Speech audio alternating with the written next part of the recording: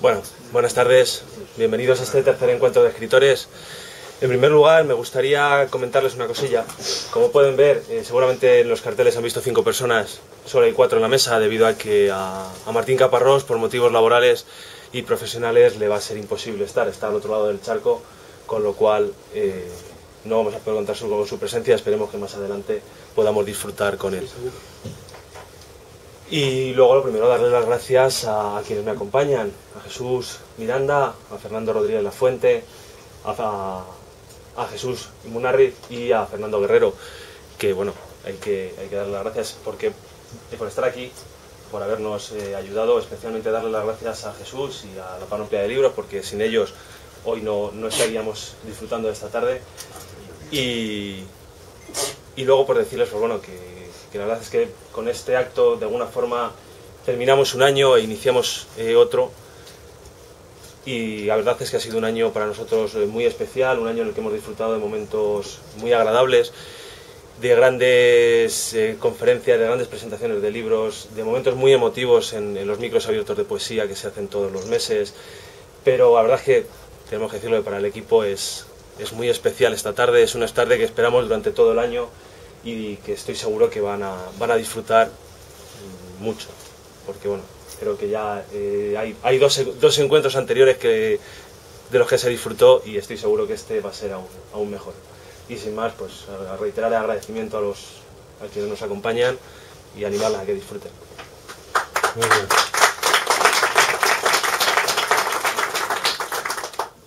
Pues eh, de nuevo buenas tardes, bienvenidos a todos y muchísimas gracias al agradecimiento a Ícaro por, la convocatoria, por la insensatez de invitarme a mí como, como moderador y moderado y, sobre todo resultar, resaltar y subrayar eh, el hecho de Ícaro, ¿no?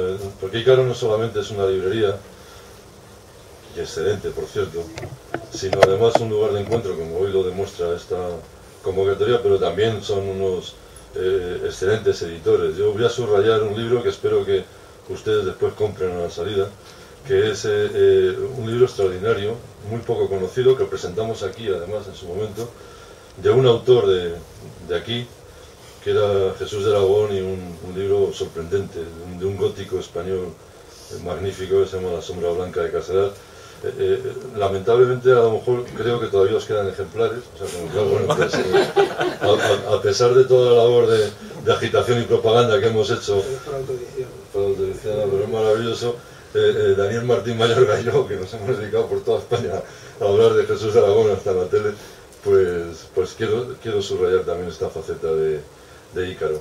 Muy bien, como tú señalabas, ya desde, desde 2013 la librería Café y más cosas, Ícaro eh, desarrolla este encuentro de, escritores. Escritores y de profesionales del libro, porque en el fondo la convocatoria de hoy es una convocatoria eh, abierta a todo lo que es el, mundo del libro y todos los problemas, que no son pocos, que, en este momento se ciernen sobre, sobre el libro. Y en esta tercera, en esta tercera convocatoria, eh, bueno, forman parte de, la mesa personas, es decir, profesionales vinculados a, todas las facetas de, la vida del libro, desde la creación también, pero hasta la, distribución, que es en este momento clave, y bueno, más clave todavía la, venta. Para hacer una brevísima introducción, porque aquí lo importante es que hablen, que hablen ellos y que establezcamos un diálogo y también con ustedes, o con vosotros, por supuesto, es eh, eh, eh, muy breve. Estamos viviendo un tiempo de mutación cultural. Es decir, hay, unos paradigmas culturales que, se están, que se están rompiendo. No, tampoco es, es el apocalipsis no, pero es, eh, eh, ha, sucedido en todos los cambios en todos los cambios de siglo, no, ha sido, no va a ser este una excepción. Hay un libro extraordinario de, un historiador, de Philip Blom, que se llama Años de Vértigo, publicado en, en Anagrama, donde cuenta cómo las dos primeras décadas del siglo XX provocaron todos los cambios, fueron el germen de todos los cambios que se iban a producir a lo largo del siglo. Eh, los cambios no solamente políticos y económicos, eh, de tipo de sociedad, sino eh, en el caso que a nosotros nos, nos concierne de, del libro, ¿no? los, cambios que iban a caracterizar a lo largo de las décadas siguientes el siglo, el siglo XX. Por ejemplo, yo ahora eh, recordaba la aparición en las primeras décadas del siglo XX de algo que iba a ser una revolución para el libro, que fue el libro de bolsillo, que no había existido hasta ese momento, y incluso en el, en el New Deal de Roosevelt en Estados Unidos, que es cuando se, se dispara la, la, producción de libros, de, libros de bolsillo, eh, había, tenían un lema que fue que, que, recorrió todo, todo Estados Unidos eh, dentro de la política del New Deal de Roosevelt, que era eh, millones de libros para millones de, lectores. como digo, todo esto ha sido, ha sido desbordado, no ya solamente por las nuevas tecnologías. Hay que decir también que las nuevas tecnologías eh, han creado géneros literarios. Eh, es impensable eh, la novela moderna sin el invento de la, imprenta.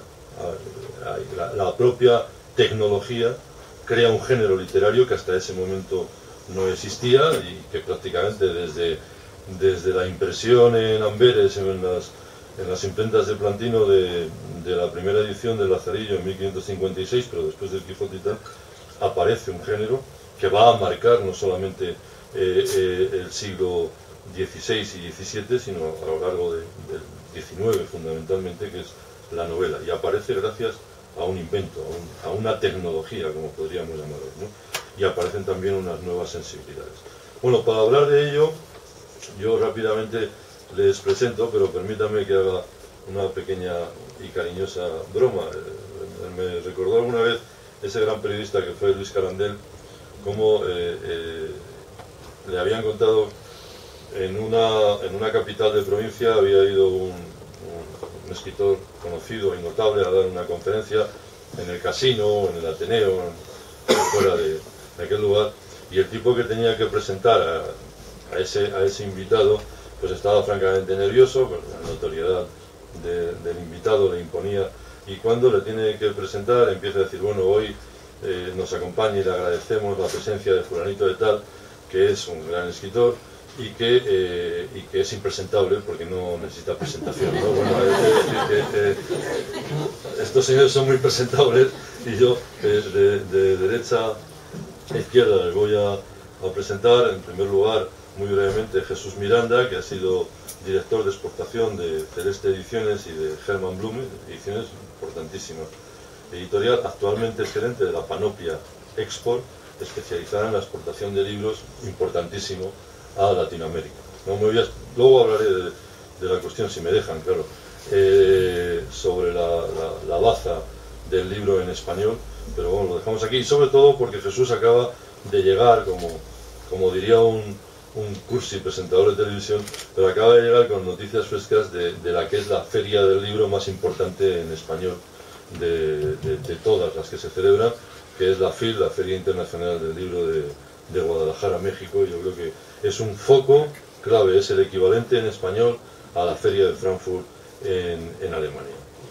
A mi izquierda, a mi primera izquierda, porque claro, en estos tiempos de elecciones hay que tener mucho cuidado, eh, está Jesús Munarriz, bueno, poeta, a ver, su extraordinaria labor de editor y de librero a veces ha ocultado a un Jesús Munarriz con una obra poética que, por cierto, la sensibilidad de Ícaro siempre al tanto ha puesto, tienen ustedes ahí un mostrador, parte de su producción, de su, de su obra poética, y a veces se, se, ha oscurecido la figura de Munarriz como poeta, que es un extraordinario poeta y además traductor, desde hace 40 años, ¿eh?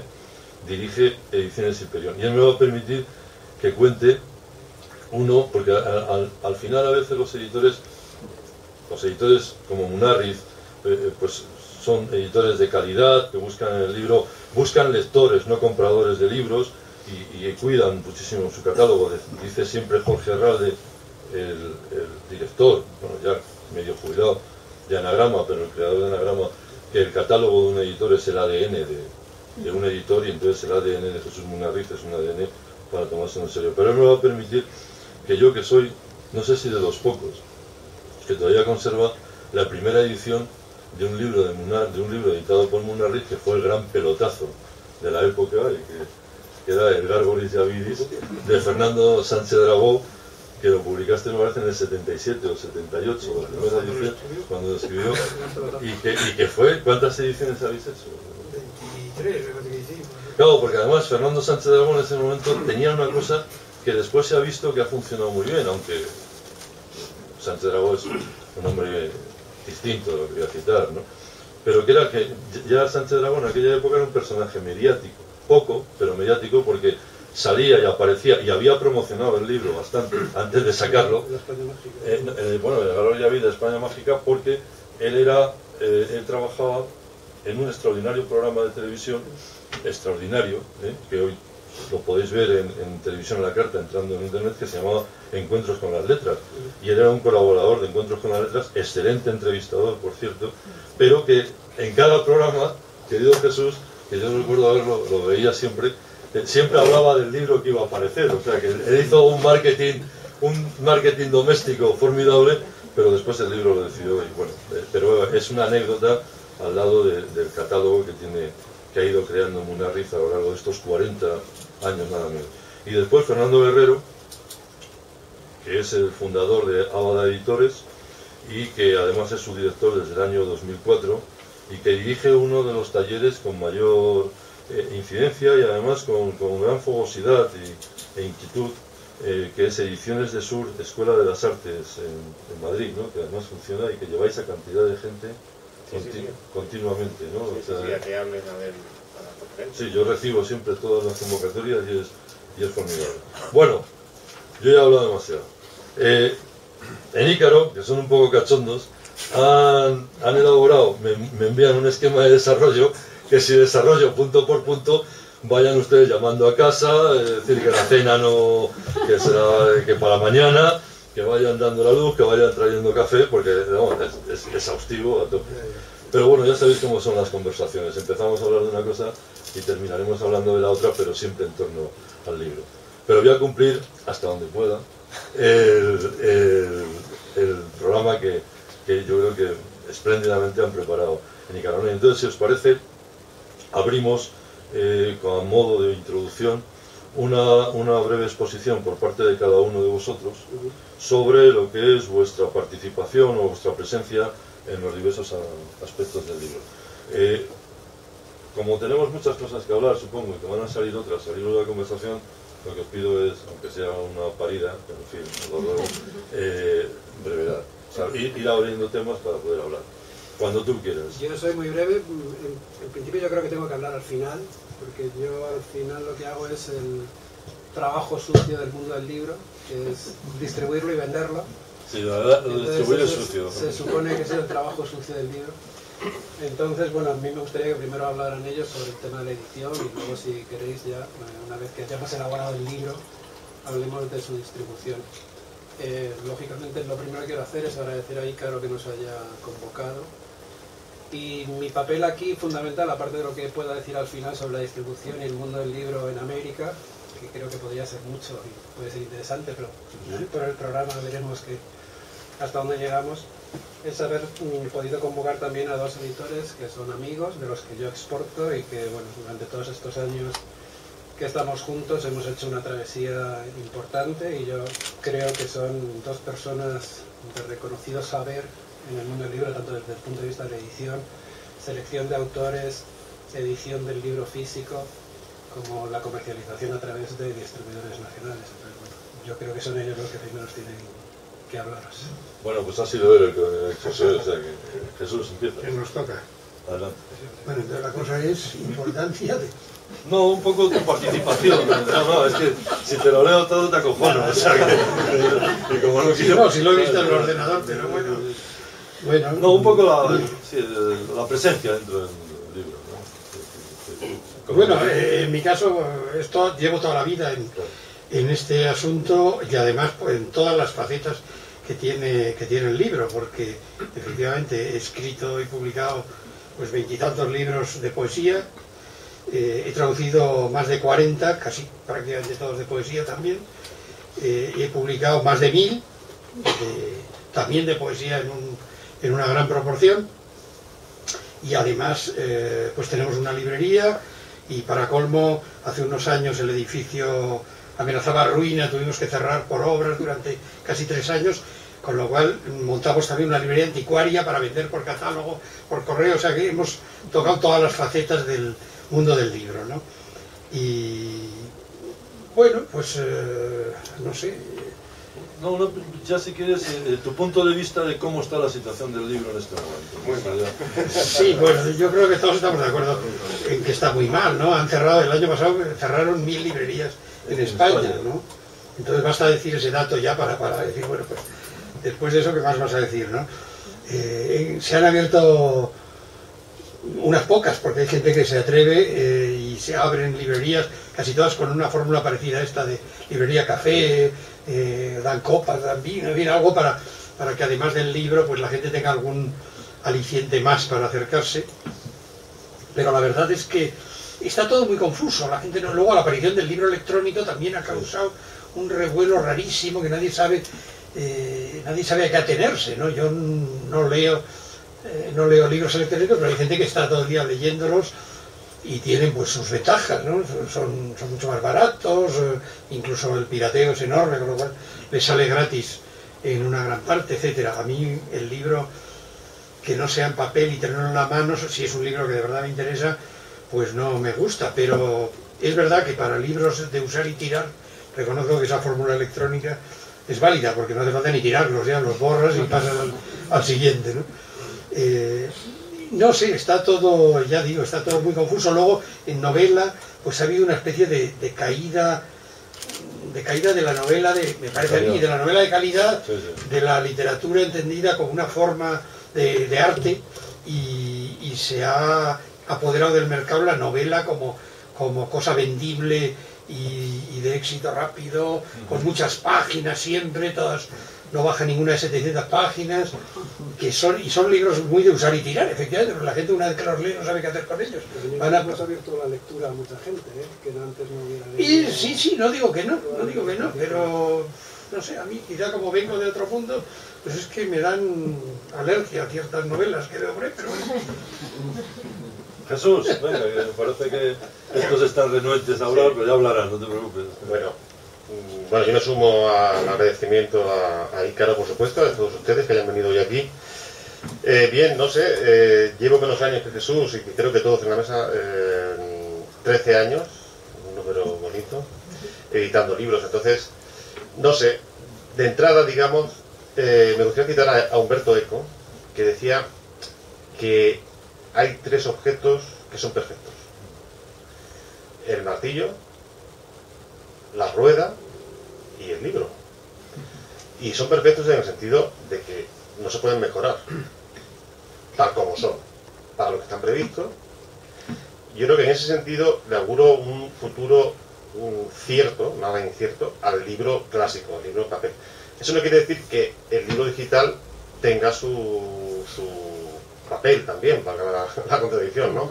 Tenga su rol y tenga su aparición ciertamente eh, quizá dedicado a un tipo particular del libro, porque el soporte sí influye en el contenido.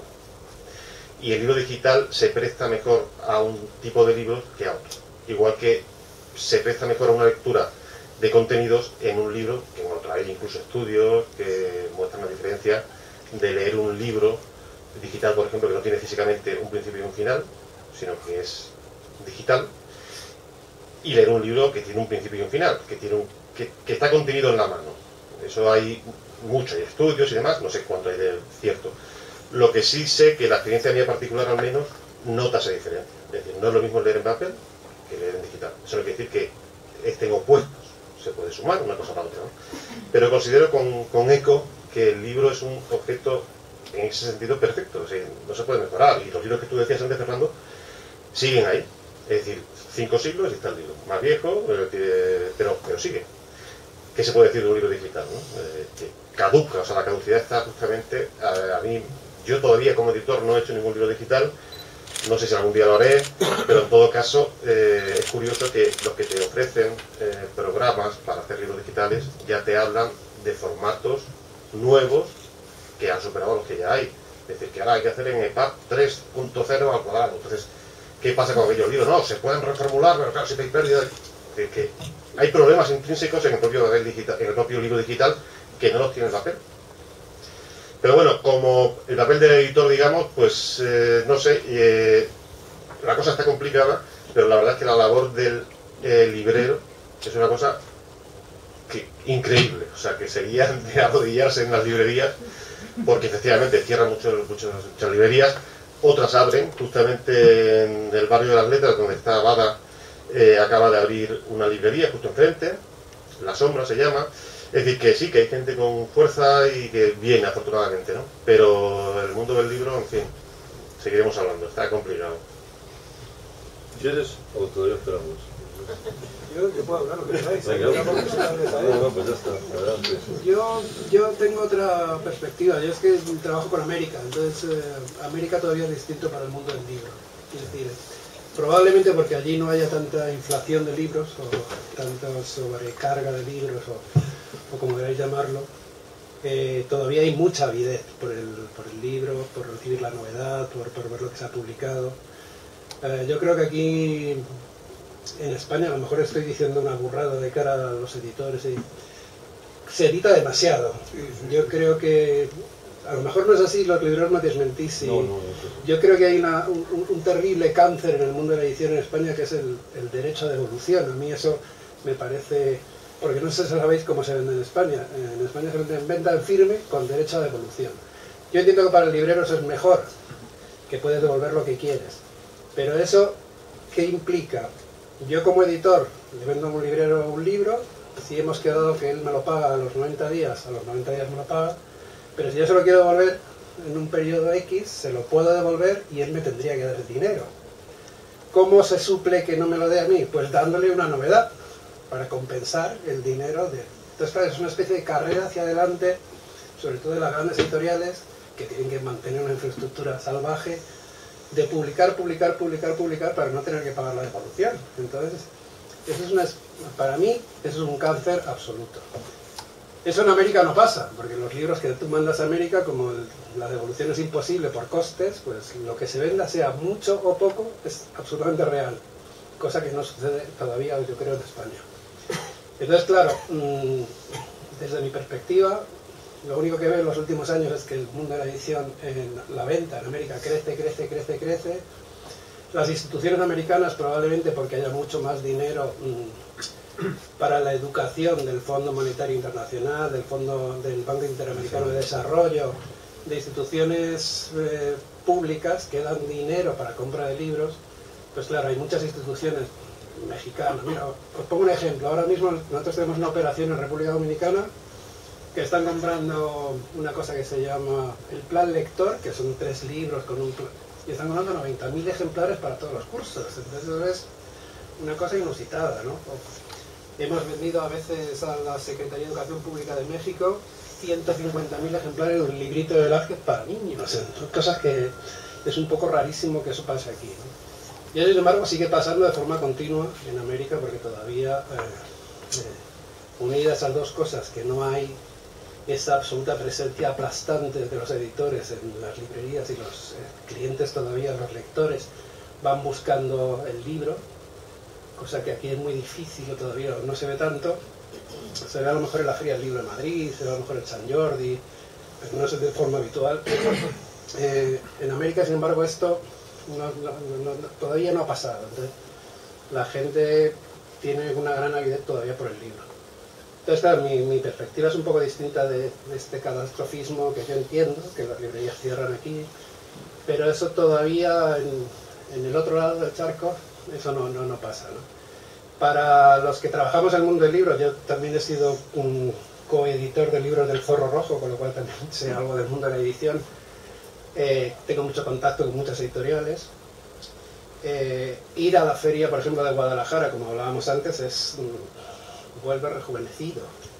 Yo cada vez que voy a la feria, que es una matada de, feria, porque es mucho trabajo, pero solamente ver cómo va la gente y busca gente de los años anteriores, vuelve y qué novedades traes y que vuelves súper bien. Yo con todos los editores que trabajo, se lo he dicho a Maite y a Jesús y se lo digo a todos los editores, oye, venid conmigo a América, que tenéis que ver a vuestros lectores, que tenéis que conocer para quién editáis, venid conmigo. siempre que voy a Guadalajara digo, y me viene un editor de estos que dice, voy a ir contigo a Guadalajara. Yo digo, qué putada. Porque llegas allí y todo el mundo, ah, qué bien, qué bonito. Y todo el mundo dice, ¿y por qué no vendes más en México? Con todo lo que hay aquí, con todo lo que quiere la gente. ¿Y por qué? Pues porque luego el día a día tampoco es así realmente, ¿no? Porque el mundo del libro en México es muy complicado por las cadenas de librerías y el tipo de... Monopolios, De o oligopolios. eh, No, hay grandes librerías y luego allí hay una cosa muy rara y es que dan mucho descuento a los clientes. ya, Entonces para ese descuento piden muchísimo descuento al distribuidor.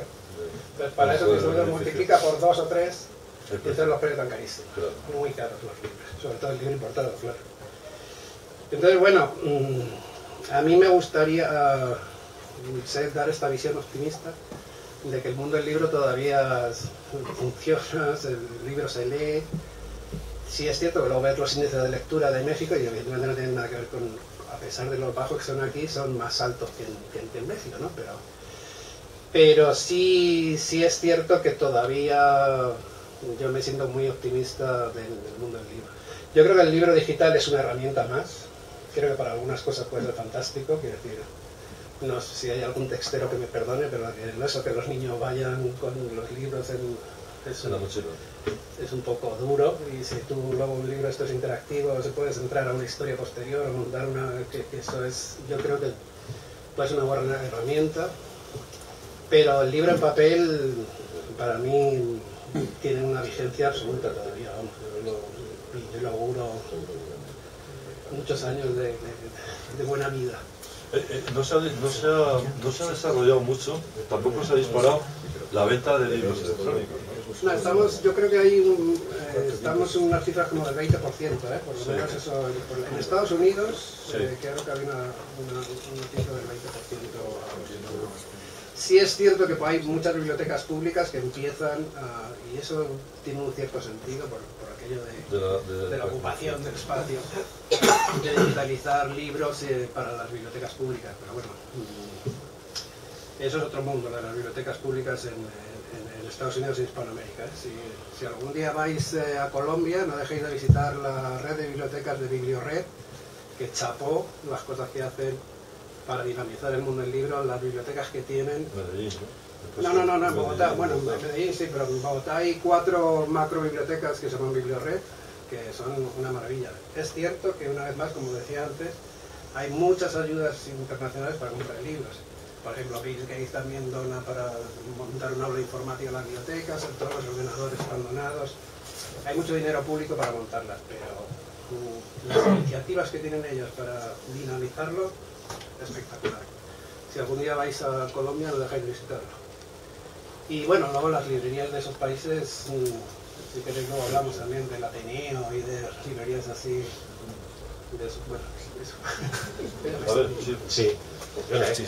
Venga. Yo soy uno de los editores que, que fue a Guadalajara una vez, un par de veces, o tres. No, esos que luego me dicen, ¿y por qué no Efectivamente, ves tanta efervescencia que ¿cómo no vendemos 10 veces más? Y están pidiéndolo. Y también doy fe, efectivamente, de las grandes y impresionantes librerías pues, en México o en bueno, yo por lo que me cuentan otros editores que sí hacen libro digital, el volumen de libro vendido eh, en porcentaje estaría en torno al 8%, lo que tú decías, de libro, de dinero que dan esos libros en torno al 3 de todo lo que venden. O sea que sigue siendo bajo. Ahora, suma. Y según parece, no resta eh, a- al, libro, al libro en papel, es decir, que el lector del libro digital es distinto.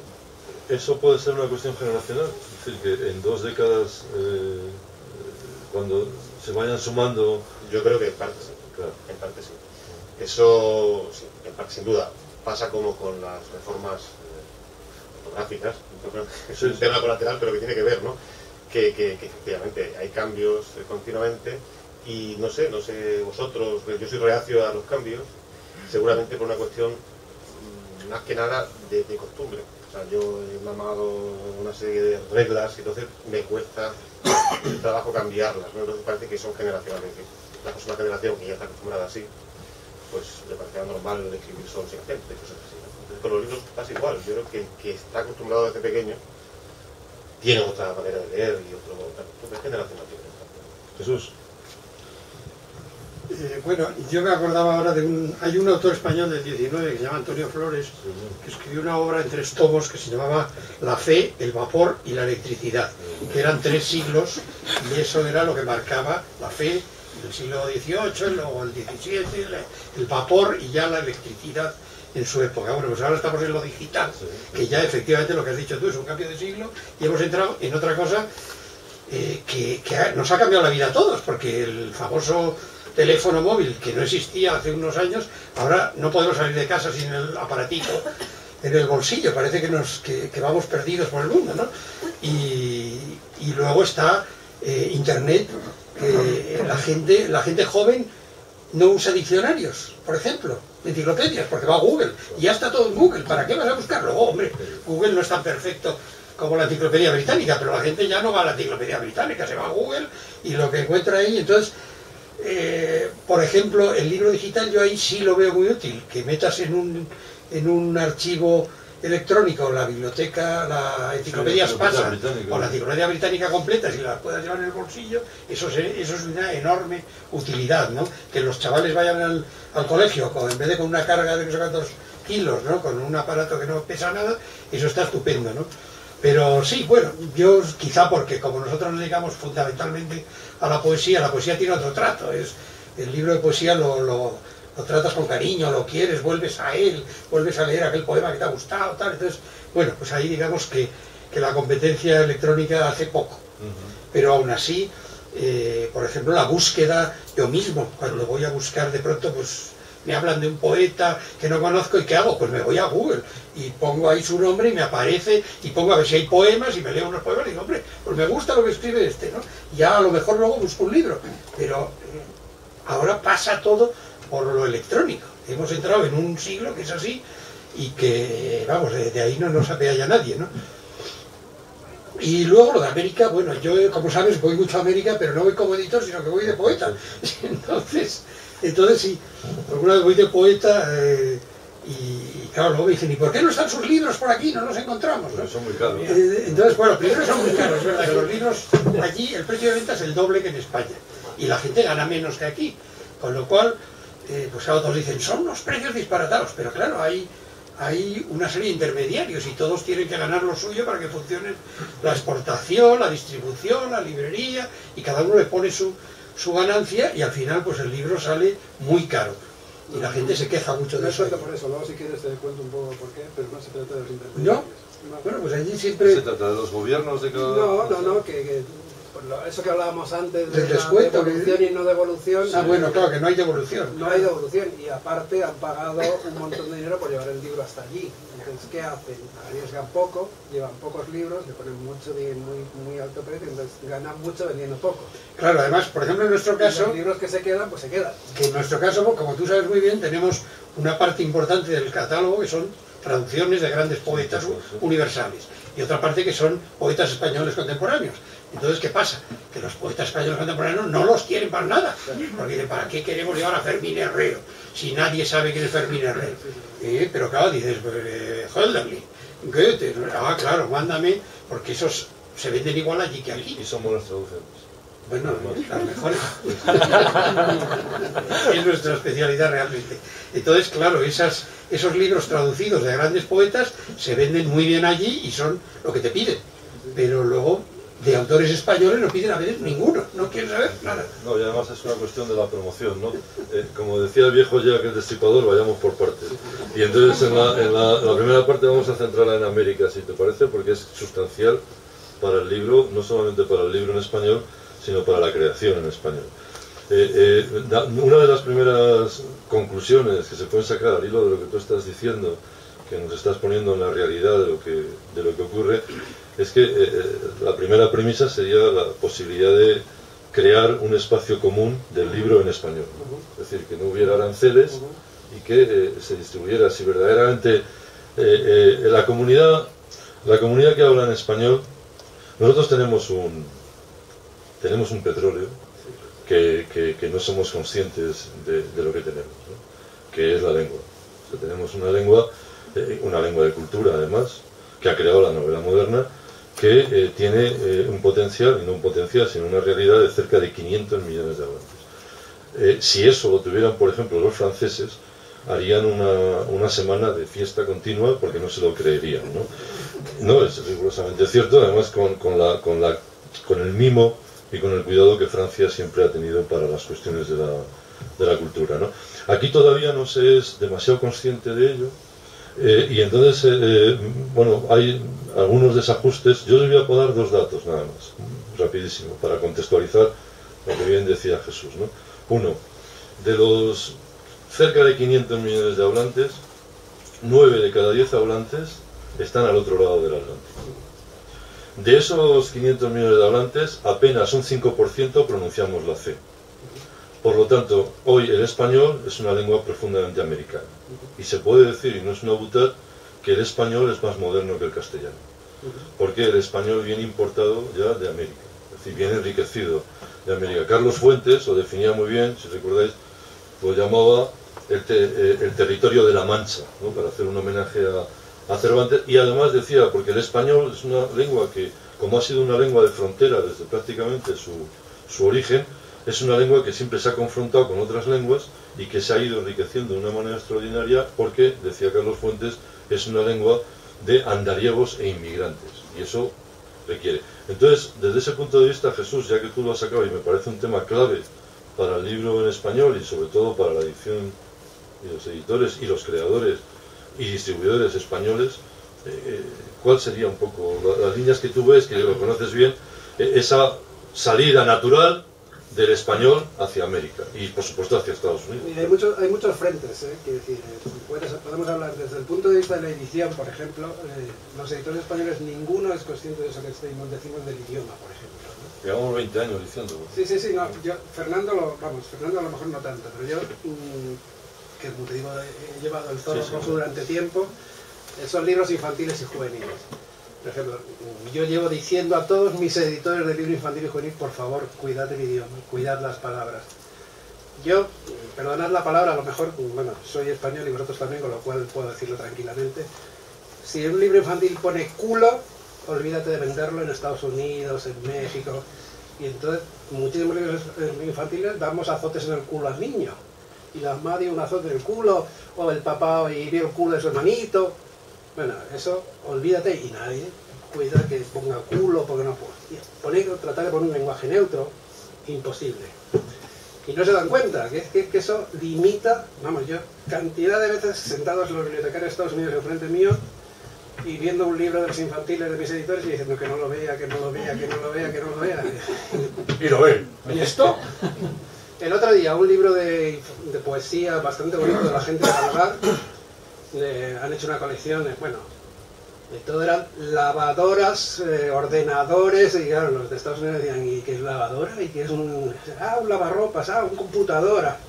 Claro, son palabras que hay que buscar de alguna manera que sea un idioma común. Oye, pero la Real Academia ha hecho una cosa extraordinaria que ha sido el diccionario panhispánico este, Sí, sí, buenísimo. en el que yo creo que además, además de la labor de la Academia, que ya eso está un poco más eh, eh, estandarizado. Me contó Juan Cruz, Pero no lo hacen los editores. no lo hacen, no, pero te a decir que me contó Juan Cruz, al hilo de lo que tú estás diciendo, que tiene mucho que ver, que había estado entrevistando a un, a un escritor mexicano con enorme éxito en México, y le decía, hombre, ¿y por qué no tienes ese éxito en España? Y decía, porque todavía no tengo traductor. Es, es a veces... eh, a ver, Fernando, que... Sí. No, yo creo que efectivamente la exportación es. eh, vamos a ver, el editor. aquí los. eh, el editor, cuando va a publicar un libro, hace un cálculo de cuánto se puede vender. ¿Cuánto cree él que se va a vender? Eso es interesante. Cuéntanoslo porque como nunca lo contáis, pues, Claro. decir, Entonces, eh, según la tirada, según el precio del libro, etcétera, según el interés que creas que, creas que va a provocar el libro, etcétera, haces, eh, pones el precio del libro, haces una tirada adecuada, etcétera. Si se venden, pongamos, 500 ejemplares, no estamos hablando de ediciones de 24, No, no, ya, ya. eh, recuperas la inversión del libro. Todo lo que se venda a partir de ahí es ganancia. Bien. Eh, con las librerías en España eh, no tienen problema. Ellos cogen los libros que le da el distribuidor en España, lo que venden pagan, lo que no venden lo devuelven. pues el proceso de devolución le llega al distribuidor y el distribuidor se lo devuelve al editor.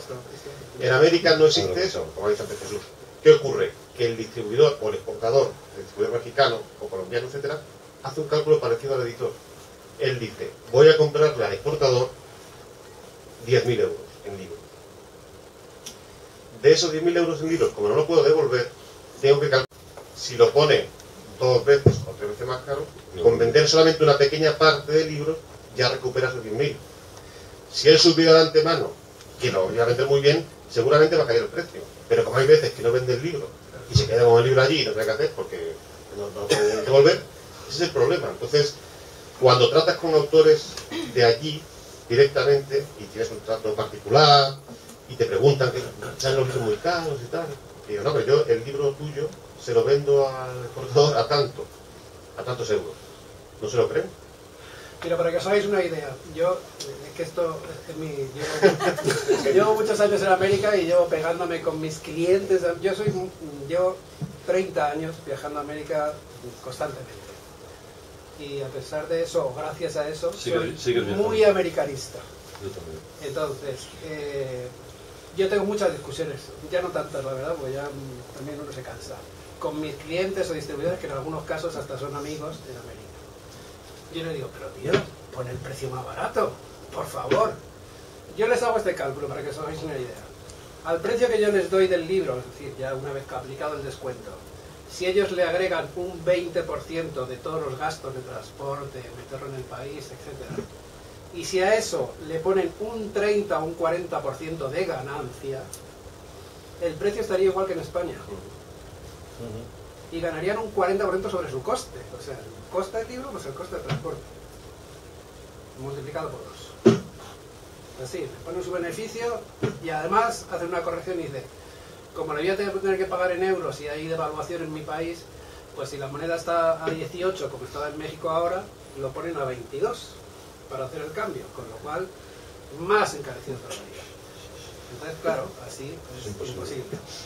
Pero por más que se lo digas, yo cuando últimamente me dedico, como yo digo, a hacer hijos en América, con perdón Silvia, y es, creo nuevos clientes, entonces gente que tiene una cierta afición por el libro, que está relacionada con el libro, trato de que sean clientes míos y que salgan adelante.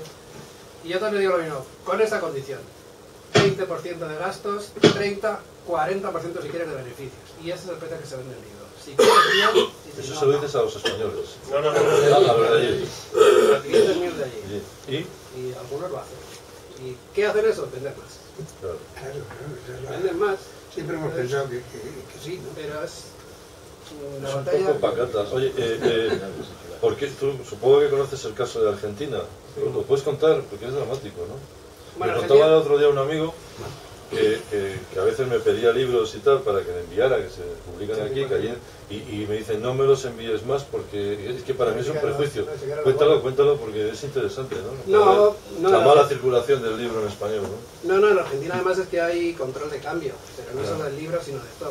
Mm, Para que un, algo entre por la aduana argentina tiene que haber una aprobación de comercio del, del- del Estado en Argentina. Entonces, para eso, lo que tenemos que hacer, ellos nos hacen los pedidos, nosotros le mandamos un presupuesto, que es una proforma, ellos lo presentan allí a su gobierno y se lo aceptan o no se lo aceptan. Y si se lo aceptan, entonces ya les podemos mandar los libros. Esto puede pasar un mes o dos meses. O sea que las novedades, no, espérate, ¿no? No, no, no, la verdad es ni nada. Y yo mientras tanto lo tengo en mi almacén preparadito porque algún día puede que salga. Todavía no, pero bueno. Y mientras tanto la factura de los editores corriendo los platos. Pero bueno, eso es lo de menos. Eh, ¿Qué es lo malo además? No hay un criterio, porque ellos van con el papelito, se lo presentan al gobierno y el gobierno dice, no. Bueno, pues nada, a la semana siguiente van con el papelito, no. Y a lo mejor dentro de un mes dicen, sí. Y entonces pueden ¿no? Pero eso no es lo malo del libro, es todo lo que es pieza de maquinaria para repuestos. Entonces hay una escasez en Argentina que por eso han votado el cambio, supongo. Pero sí, eso es lo dramático. Sin embargo, Argentina tiene una cosa muy buena para los editores españoles. ¿Y es? Y es, ellos tienen los precios mucho más baratos que nosotros, los libros hechos en Sí, Argentina. sí. Entonces tú vas a un editor argentino y dices, ah, este libro cuesta 20 pesos, haces la traducción y dices, ah, estos son 2 euros, qué bueno. Pues quiero importarte yo para España o para vender a otros países de América, Dice, ah, no, no, no, precio de exportación. Allá. Entonces son 4 dólares en vez de 2 euros. Y ya se te ha visto el doble. Con lo cual se lo ha puesto el doble. Es buenísimo para los editores españoles porque no compiten con nosotros. Hemos conseguido, ellos mismos han conseguido no competir con nosotros, porque si no estaría América inundada de libros argentinos en vez de libros españoles. Y luego tiene una cosa también muy buena que los españoles no hemos conseguido, y también por estas complejidades del mundo global, y es que tienen muy buenos precios de transporte con DHL, por ejemplo. ¿no? Los argentinos tienen muy buenos precios para sacar los libros de Argentina al exterior. Y los españoles no hemos conseguido ningún acuerdo con transportistas que nos permitan sacar los libros a buenos precios. También supongo que, por eso digo lo de la globalización, que habrá un problema de competencia de, de la Comunidad Económica Europea, que no permita que por temas de competencia haya acuerdos no Bilaterales o algo así. o con empresas de transporte para Ah, favorecer a un sector. Te lo digo porque eso en algún caso, cuando aquí en España estaba la desgrabación fiscal, que era que cada libro que tú se exportabas, el Estado te devolvía un porcentaje, eh, eso se ha suprimido por la Comunidad Económica Europea, que dijo que eso es- había un problema de competencia y lo quitaron. Entonces supongo que habrá algo de eso también, pero...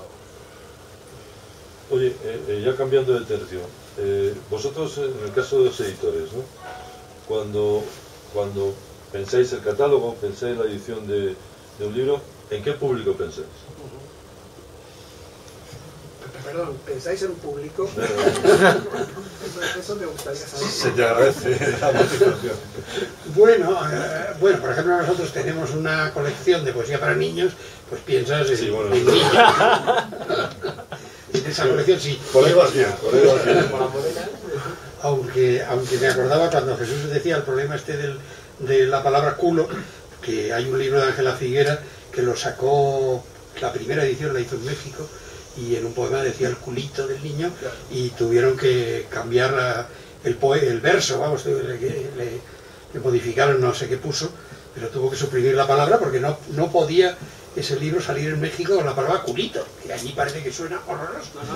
Mi ¿Sí? hijo, se, se- mi hijo se sentó en Panamá en el suelo y dijo que se quemaba el culo y se volvió todo el mundo. ¡Papá, me quemo el culo! Y todo el mundo se volvió en la calle como diciendo, este niño es un grosero. Y bueno, pasa lo mismo. Lo que pasa es que en literatura eso es, eh, no se puede tocar porque eh, hay palabras, igual que cuando leemos a los argentinos y lees la pollera, pues bueno, pero ya, cuando la lees dos o tres veces ya te enteras de que es la falda y se acabó el problema, ¿no? Y, y los argentinos leen gilipollas en una novela española y les suena espantoso y tal. no te quiero decir co- coger un taxi. Sí, eh, Exacto. Pero, pero eso, claro, cuando dice, cuando dice, decimos aquí en España, le cogió el toro, joder. es terrorífico, por un argentino no se lo puede imaginar. No, cuando vas a Colombia y una muchacha guapísima te dice, ¿qué le provoca al señor? Pues, Bueno, en Colombia, en Colombia había una, en Colombia había una famosa, una famosa carrera de caballos que se llamaba La Polla. Y entonces había un famoso titular que ponía... En Perú, en Perú, ¿no? No, es, es en Chile. O en Chile. y Y es la ponía- lotería. La lotería. Y dice, hoy se corre la polla del presidente. Bueno, No, no, no. no, era, era, era Yo la primera, vez, la primera vez que fui a Chile había titulares que ponía al señor presidente le ha tocado la polla. Bueno, tratándose de Pinochet no me extraña. La pronunciación es distinta porque se escribe distinto. Pero Oye, bueno. pero sigue con lo de, eh, de a, qué, a qué... Tú piensas en un lector seguro. Bueno, eh, no sé, no, porque por ejemplo poesía es que los poetas escriben lo que, lo que, lo que buenamente saben. Quiero decir que cada poeta tiene su mundo propio, escribe un libro, entonces lo único que puedes decir es te lo publico o no te lo publico. Pero lo que no puedes es pensar, bueno, esto a quién irá. Bueno, pues va a los posibles lectores de poesía, que en unos casos hay, hay autores que sabes que tienen ya lectores asegurados, que tienen cierta cierto, cierta fama, que hay un seguimiento, y en otros pues arriesgas porque, porque te gusta y piensas que es bueno, y, y dices, bueno, pues espero que se abra camino, ¿no? Pero a veces aciertas y a veces con buenos libros eh, no, encuentra, no encuentran sus lectores y a lo mejor otros libros peores sí los encuentran porque el autor luego es un, hay un efecto de autopromoción, ¿no? Hay autores Es muy que se mueven mucho, Sí, sí. que hacen lecturas, que van a librerías, que presentan el libro, que van al Ateneo, que se mueven, se pasean, van van a ferias. Yo tengo una amiga que, vamos, está presentando un Está libro. todo el día, ¿no? Solo le Claro, falta claro, Reykjavik. claro. este Y hay otros que no salen de casa, digo, yo ya he publicado el libro, ahora, oye, si, le- si lo quieren buscar ya lo buscarás, ¿no? Y oye, en casos, en casos como el que tuvisteis recientemente, más o menos, como fue el gran éxito de un gran libro, por cierto, aquí se daba, aquí se daba la, la feliz conjunción de un gran libro con un gran éxito, que era el Cuadernos de Nueva York de Pepe El cuaderno de Pepe, sí. ¿Eh? Bueno, ahí se dieron una serie de circunstancias raras que el propio Pepe se extrañaba, ¿no? Decía, Claro, ¿no? decía si este libro no es mejor que el anterior, y el anterior no, no, no hicieron ni caso, ¿no? Sí, sí, sí. Entonces, bueno, coincid- yo creo que hubo una, una cadena muy curiosa de, de promoción que nada más eh, publicarlo, eh, el diario El Mundo, el jefe de cultura del Mundo, era muy amigo de Pepe, le gustaba Manu- mucho, Manu Llorente, Manu Llorente, y le hizo una entrevista de dos páginas en el mundo, nada más salir el libro. Y entonces, eh, en una televisión, no recuerdo en cuál, mandaron, se les ocurrió al ver aquellas dos páginas, mandar a un reportero a casa de Pepe Hierro, a decir, Pepe Hierro ha sacado un libro nuevo de poesía, muy bueno, y le hicieron eh, una pequeña entrevista y lo sacaron en el telediario, de, Sería- un- sería de la una pública, cadena. Bueno, todas las demás cadenas lo copiaron, porque todos, dice, ha salido en la sexta, ha salido en la tres, y mandaron reporteros, y entonces apareció en todos los telediarios que Pepe Hierro había publicado un libro de poesía, que era una cosa insólita, porque normalmente no les importaba nada que un poeta publique un libro nuevo, ¿no? Entonces, bueno, pues eh, eso le hizo una propaganda enorme. Luego Pepe era un hombre muy cordial, que se ganaba a la gente, Sí, que tenía una simpatía enorme. Y entonces, pues, y el libro era bueno, evidentemente era un Muy ma- bueno. magnífico libro, ¿no? Entonces se juntaron ahí una serie de elementos que hicieron que saliera un bestseller poético, cosa rarísima, porque Fernando, ¿y tú vas, vosotros vais a tener algo así alguna vez? O, eh, Ojalá. No, editáis libros espléndidos y además que, que llenan un catálogo para una, digamos, un patrimonio intelectual en España, pero a veces cuesta mucho. A veces cuesta, sí, sí, realmente cuesta y hay momentos en, en los que te desanimas y en cambio otros también que, que, bueno, que funciona, se venden. ¿Cuál es el que Pero- más habéis vendido, por ejemplo? Bueno, no sé, eh, sí lo sé, sí, Sí lo sabes. No sé si A decirlo. lo mejor te gusta o no te gusta, pero No, digamos, estamos no. aquí entre amigos. Claro que sí. Que- Eh, Benjamin ha sido un autor. Sí, claro.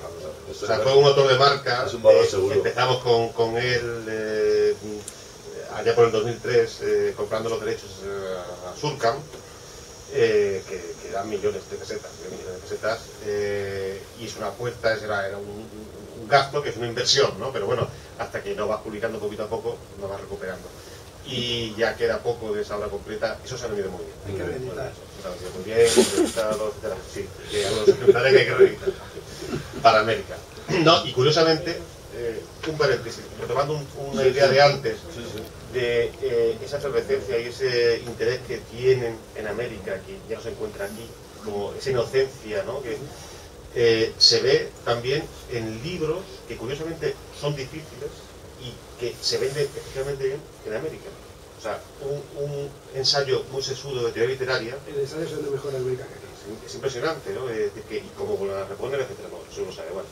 Pero volviendo a la idea de, de a qué público es. va dirigido, yo creo que todo editor, en parte también, eh, tiene la idea de que todos los libros son uno. O sea, que lo que se vende, al principio, cuando empezamos en el 2003, sacas un libro, sacas dos, etcétera, pero la idea es conseguir que formen, eh, que cuajen entre sí. Y entonces lo que va vendiendo cada vez es la editorial. Es, es un encaje La global, la marca, ¿no? Eh, entonces, claro, cada libro tiene su individualidad, lógicamente, son autores distintos, pero lo- es una atmósfera lo que ya quieres vender. Un editor, como un gran escritor, crea lectores. Es Efectivamente. decir, eh, aquí eh, yo, hay dos ejemplos claros, eh, además del de Jesús en poesía. Quizá Jesús, junto con, con Chus Visore, uno más, han creado, han creado lectores de poesía. Pero hay dos, hoy ya indiscutibles, que fueron Jorge Herralde y, y Beatriz Moura, eh, o en, anagrama y en Tusquets, ¿no? Donde crearon sus propios lectores, que es lo que tú estás diciendo. ¿no? Era un poco la vieja idea de la Nouvelle Vague francesa cuando dicen eh, hasta, hasta la aparición de la Nouvelle Fran- en cine, de la Nouvelle Vague francesa, eh, eh, las películas, la gente iba a ver las películas porque por el actor o por la actriz, ¿no? Una de Bogart, una de tal, pero cuando estos llegan dicen, no, el director es la estrella, ¿no? Entonces ya la gente ya se da cuenta de que la muerte, el hombre que mató a Liberty Balance, bueno, está John Wayne, está eh, eh, James Stewart, pero el director es John Ford. Entonces ya uno va a ver siempre las películas de John Ford, sea la que sea, porque es de John Ford. Esto es lo que hacen estos editores. En el momento en que Jorge empieza a editar en anagrama, la gente ya compra los libros de anagrama independientemente del autor que vaya a publicar. ¿no? Además estuvo justamente en Sur hace un par de meses y estuvo espléndido. Y una de las cosas que, que decía, recuerdo, eh, con el famoso ejemplo de Zid, que rechazó el Sí, bueno. perdido y todo eso. ¿no? Entonces, parece ser eh, que Zid dijo, bueno, sí, mm, pero la tarea del editor no es tanto, o sea, que decir, un editor se puede equivocar en no publicar un libro muy bueno, pero donde no debe equivocarse es en publicar un libro malo. Está bien. Y entonces esa es la idea, es decir, que todos podemos equivocar, pero lo que quieres crear es una, una casa donde el lector compre Abada o compre Miriam o compre lo que sea, porque sabe que va a encontrar muebles conocidos, un lugar conocido, es decir, una manera de expresarse, como autores que más no tienen por qué coincidir en, opiniones, pero sí en la idea de expresarlas o en el ambiente o en el ámbito en el que se mueven. Y esa es un poco la idea, ya son 415 títulos, Los que lleváis, los que llevamos. ya son muchos. Y eso, y eso. Sí, ¿no? Y en vuestro caso, que son gran, gran parte de ellos son traducciones, es muy importante como sea la traducción. Claro, claro, claro. Que si yo, en- muchísima gente en América me ha dicho, ah, sí, esta editorial, pero está muy mal traducida, siempre. Entonces, me, me lo dejan ahí porque de esa editorial que saben que está mal traducida. Entonces, creo que eso también es muy importante. O- Oye, ha citado una cosa Jesús Munarriz, eh, que es eh, incuestionable y que bueno, tiene también su a la hora del libro, ¿no? Yo recuerdo que eh, cuando presentaba el telediario de la 1, Fernando Delgado, eh, muchos hablábamos con él y le convencimos para que cuando terminara el telediario todos los días recomendaran un libro. Y eso tenía un efecto brutal. Yo os puedo decir que ahora estoy en, en- en el programa de La Noche en 24 Horas, con precisamente somos pareja de hecho ya, Juan Cruz y yo, y, y vamos, y vamos todos los lunes. Y claro, eh, yo he dirigido durante 15 años el ABC Cultural. Eh, ¿Qué lectores puede tener eh, el suplemento que tienen influencia? eh, porque me han dicho libreros y tal, cuando sale una reseña. Bueno, ¿cuánto lo puede leer? Si el periódico tira, imaginaros, eh, 180.000 ejemplares o 200.000, ponemos los, los cuatro grandes suplementos que hay en España, que es Baberia de- del país, ABC Cultural, el Cultural del Mundo y el de Culturas de la Vanguardia, que es espléndido también. Pero eh, eh, la Vanguardia hizo un estudio hace unos años de cuánta gente leía todas las semanas los cuatro suplementos, que es de nota. Bueno, la mayor parte eran profesionales del mundo del libro, del arte, de la música o del cine, ¿no? Eran en torno a unas 25.000 personas, que es muchísimo, muchísimo para los cuatro. Después están los que leen el, el suplemento de ese, de ese periódico. A mí a veces me creaba problemas en la ABC Cultural porque mucha gente cuando se me acercaba y estaba con algún directivo del periódico, lo cuento aquí y lo cuento en fin, no, no conviene que se propague, ¿no? Pero eh, porque se me acercaban a mí y me decían, ah, nos encanta el suplemento. Yo la verdad es que el periódico solo lo compro los sábados, ¿no? En fin, me dejaba en una situación un poco complicada, ¿no? Digo, no, pues cómpralo todos los días y tal, ¿no? Pero, no, quiero decir que son a lo mejor de los 180.000, 200.000 que compran el periódico, ¿qué, qué tanto por ciento puede leer el suplemento? ¿20.000 personas? ¿25.000? Bueno, hay gente que compra el periódico y tira el suplemento. Ah, yo lo he visto, lo he visto, lo he visto, lo he visto. No me cabe en su padre de milagro. Y no era el mío, o sea que, en fin, pero veis que mi solidaridad es absoluta. No, pero de esas 20... ¿sabéis, ¿Sabéis cuánta gente nos ve por la noche cuando recomendamos un libro? Pues del orden de 300.000 personas. Todo lo que tú estás diciendo con el caso de Hierro. O sea, no tiene comparación. En ese sentido, es absolutamente lamentable, vergonzoso y miserable el, la- el espacio que ocupan. No voy a decir la pública, porque la pública hace algo poco, puede hacer mucho más, pero hace poco, y en estos últimos años ha hecho muy poco, pero eh, lo de las privadas es alucinante. ¿Eh? Porque la mera, la la, la mera, mirad, la mera, yo me ofrezco a las privadas si quieren que me contraten y yo les digo cómo se hace. Es la mera mención ya no voy a decir todos los días, que en fin sería un poco... Pero la mera mención en los, en los informativos de fin de semana de cada una de las privadas, que además las privadas son concesiones públicas. Es decir, que están concedidos los canales porque tienen que hacer una labor social, no solamente historias del sálvame y leches de esas, sino que tienen que hacer eso que no lo hacen. De vez en cuando hacen una recaudación, tipo eh, esa, eh, carita, caritas y tal, pero no lo hacen. Pero ¿qué les costaría un fin de semana, ya que estamos hablando del libro, en los telediarios del fin de semana? Oye, que tienen tres el sábado y tres el domingo, ¿eh? en fin, son seis por cuatro, 24. ¿eh? Oye, una mención cada fin de semana a una librería. A un libro, A una librería, a un libro, A un ¿sabes? autor. a un autor. Pero ¿qué les cuesta si además sabemos que en televisión cinco minutos son tres horas? Sí, que, que tienes que... eh, pero que esos cinco minutos, como tú muy bien has contado, yo creo que el ejemplo de, de Pepe Hierro ha sido fundamental para, para explicar este aspecto que se nos pasa a veces y que es clave y que hay unos responsables.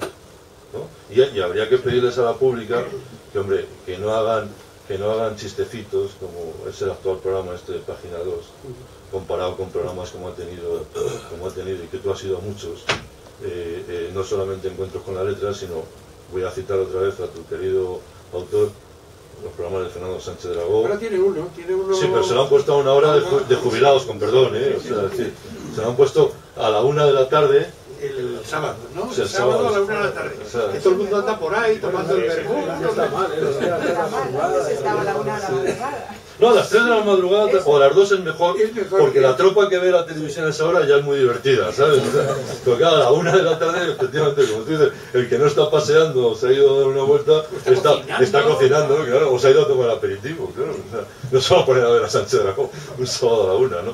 Oye, otra cuestión, os quiero también... Ahora vamos a entrar un poco en el mundo del, del autor. Yo creo que de Jesús también Munarriz ha adelantado algo.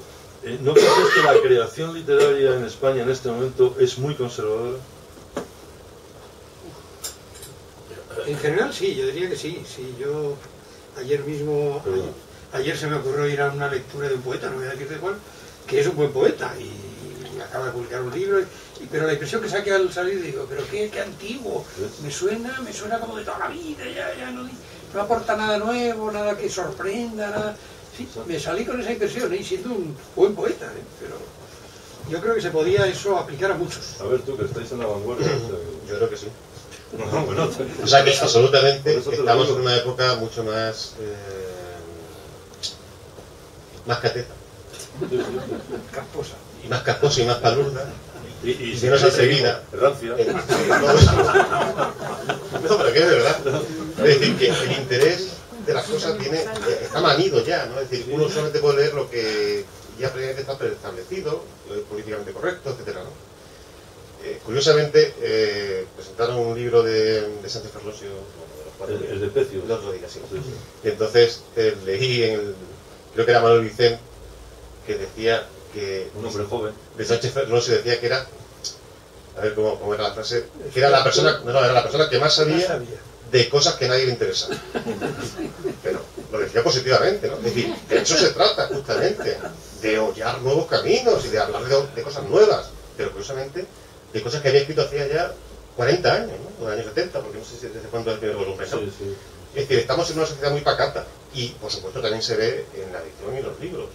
Todo es, ya se ve, yo, ah, yo como editor, esto también es nuestro capítulo, ¿no? Cuando recibimos las, las propuestas de autores, es todo muy gracioso, a veces muy gracioso, otras veces muy penoso y otras veces, pero es curioso la de gente que escribe libros de tres en tres.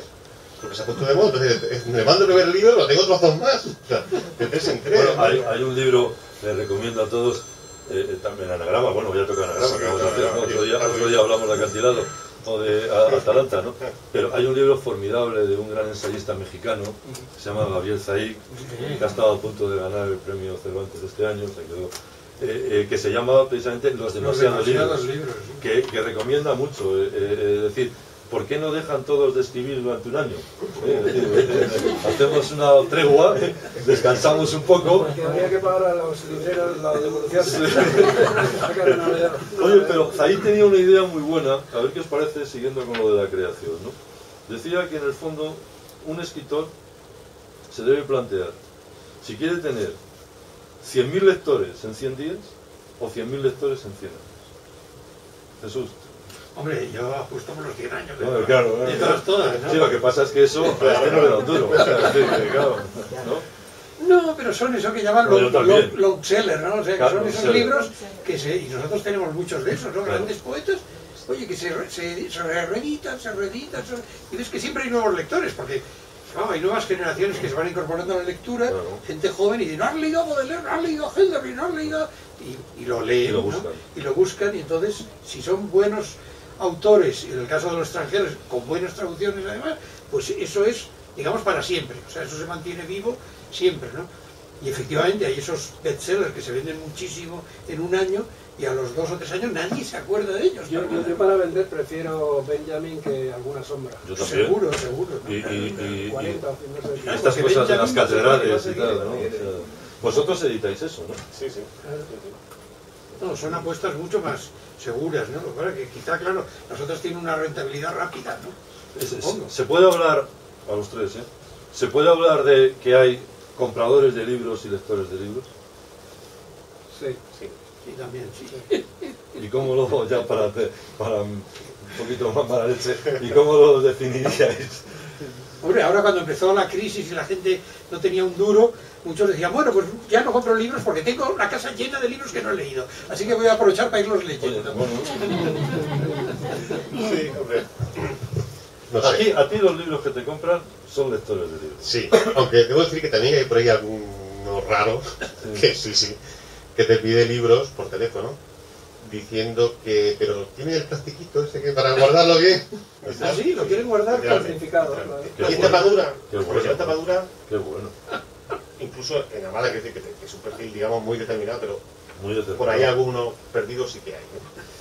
Pero generalmente son lectores. Bueno, ya sabéis que había gente que compraba bibliotecas porque, pero que fue el lomo de Sí, sí, rojo, sí, sí, en su salón. Sí, sí, Eso- Eh, Pero eso ya ni siquiera se hace, ¿eh? No, eso era con los libros encuadernados. en Exacto, piel. exacto. No, cuando todavía tener libros en casa era un signo como tener un abono en el liceo o en el, Sí. o en el Real, ¿no?